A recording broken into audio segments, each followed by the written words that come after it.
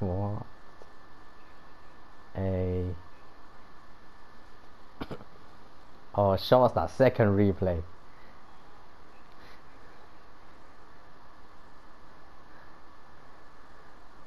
Oh my god! Oh my